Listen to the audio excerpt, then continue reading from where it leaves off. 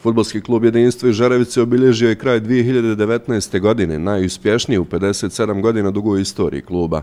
Godina za pamćenje obilježena je manifestacijom Plavo-Bijelo veče, na kojoj se okupilo oko 500 članova prijatelja i poštovalaca kluba.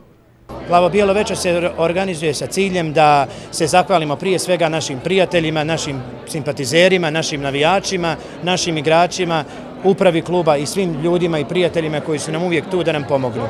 To se ujedno i organizuje da proslavimo uspješnu, uspješno prošlu godinu, naravno da nekih finansijskih sredstava i na ovaj način prikupimo i na taj način pomognemo funkcionisanje kluba koje za sada je odlično, ali nadam se da će u narednom periodu biti još bolje. U godini na izmaku osvojena je titula šampiona zapadne grupe druge lige i ostvaren plasman u polufinale Kupa Republike Srpske, gdje je od jedinstva bolji bio radnik iz Bijeljine, aktuelni pobjednik Kupa.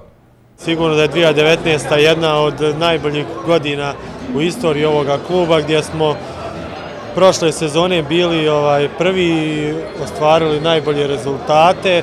Ove godine smo samo nastavili u tome ovaj, i ovu polusezonu smo završili drugi. Mislim da ovaj da klub ide u jednom lijepom pravcu i mislim da sljedeće godine samo trebamo nastaviti tako, odnosno da pokušamo ponoviti opet uspjeh, a to je da, da odbranimo titulu i da ako Bog da ove godine uđemo u prvu ligu Republike Srpske. Jedinstvo je proteklih šest godina dva puta osvajalo šampionsku titulu drugoligaškog zapada, ali nije nastupilo u višem rangu. Cilj uprave je da se prvo stvore uslovi za takmičenje u prvoj ligi.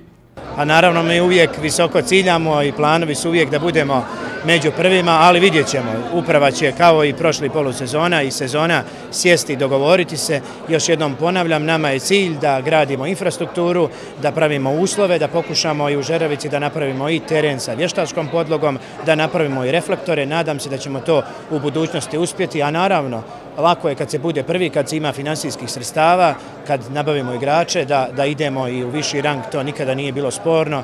Mi se borimo fair, sportski, korektno i nadam se da ćemo u tome i uspjeti.